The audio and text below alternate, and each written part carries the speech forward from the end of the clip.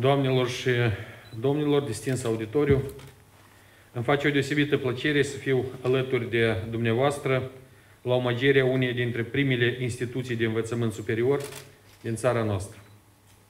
În acest miez de toamnă, când gospodarii pun pe cântar roadele muncii de un an, Universitatea de Stat din Tiraspol își estimează rezultatele a 90 de ani de existență în peisajul educațional moldovenesc. Este o ocazie perfectă pentru a adresa mai întâi cordiale felicitări tuturor conaționalilor noștri, celor pentru care această universitate înseamnă să fii profesionist, înseamnă să faci carieră în domeniul educațional, înseamnă să fii un întreg destin omenesc. Știu bine că vorbind despre Universitatea de Stat din Tiraspol, abordăm un subiect pe cât de onorant, pe atât de important și mai ales chiar sensibil. Este institu instituția care a cunoscut foarte multe schimbări și transformări. Este universitatea care a fost pe punctul de a nu mai fi, dar care, în pofida tuturor impedimentelor, a, re a rezistat, a relansat și s-a reafirmat. Distins auditoriu, făcând un parcurs retrospectiv succint, găsim Institutul Pedagogic de Stat Taras Șevcencu, în Tiraspol, în anul 1930. Ulterior, în perioada 1941-1944, instituția este evacuată în Federația Rusă, în regiunea Orenburg. Revenirea acasă marchează o perioadă de glorie, iar instituția devine un veritabil centru științific de referință nu doar în țară, dar și peste hotarele ei. Ceea ce urmează se referă la anul 1992. Atunci, institutul devine universitate și tot atunci au loc evenimente de cotitură în istoria țării noastre.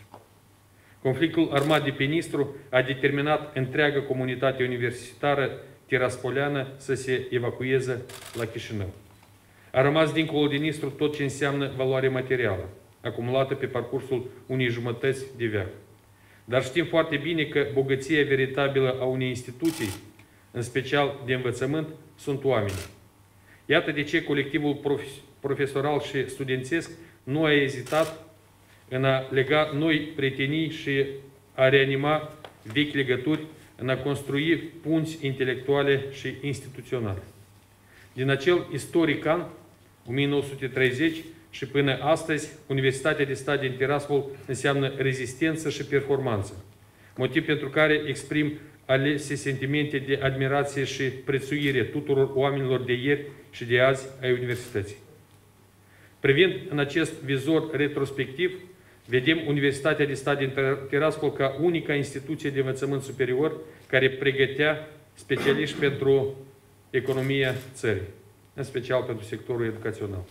Acolo s-au format cei care ulterior au stat la baza celorlalte instituții de învățământ superior din țară. Doamnelor și domnilor, este bine știut că viitorul unui popor este strâns legat de școală, de modul în care ea își organizează munca și își duce la bun sfârșit intențiile. Am toată siguranța că Universitatea de Stat din Tiraspol își va onora în continuare obligațiunile și va îndeplini onest și corect misiunea. La acest moment aniversar vreau să vă urez conducerii corpului profesoral didactic, personalului științific și de cercetare, cadrelor auxiliare, studenților, masteranților, doctoranților și absolvenților, multă sănătate, ambiție și multă perseverență. Perioada pe care o traversăm este una provocatoare. Este o perioadă a evaluărilor curente și sumative pe care trebuie să le susținem cu brio. Aceasta vă doresc și dumneavoastră și o doresc întregului popor moldovenesc. Fie ca instituția dumneavoastră să-și continue parcursul sigur și fructuos în beneficiul cetățenilor și al statului nostru, Republica Moldova. Cu ocazia a 90 de ani a instituției dumneavoastră, eu am semnat un decret prin care am oferit distinții de stat celor care activează de zeci de ani în cadrul acestei instituții. Eu vreau încă o dată să vă mulțumesc pentru activitatea dumneavoastră. Vreau să profit de această ocazie să felicit toți profesorii din Republica Moldova cu apropierea sărbătorii profesionale care o vom sărbători cu toți împreună la începutul săptămânii viitoare. Noi toți înțelegem că fără un sector, fără profesioniști, fără profesori, fără motivarea celor care activează în acest sector, țara noastră nu are viitor. De rând cu sectorul medicină, sectorul educație sunt două sectoare de care depinde viitorul oricărui stat. Și Republica Moldova nu este o excepție. Eu vreau să mulțumesc tuturor profesorilor pentru ceea ce faceți și pentru ceea ce la sigur veți face pentru viitorul țării noastre, pentru faptul că puneți temelia Republicii Moldova. La mulți ani, succese și sunt fier convins că veți avea noi realizări în continuare.